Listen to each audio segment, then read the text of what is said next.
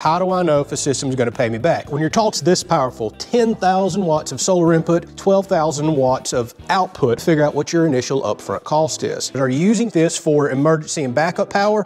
So get your electric bill, see how much energy usage you have per day, calculate out your battery backup that you need, not all days are bright and sunny. Calculate how big of a panel set based on your home's usage. Solar tax credits could potentially be ending this year. A lot of people are jumping on board to run an entire home off grid and you expect it to pay you back. Compare it to something like a whole house generator. It costs you money every single time to run that generator. With solar, it literally doesn't cost you anything after you've recouped your initial investment.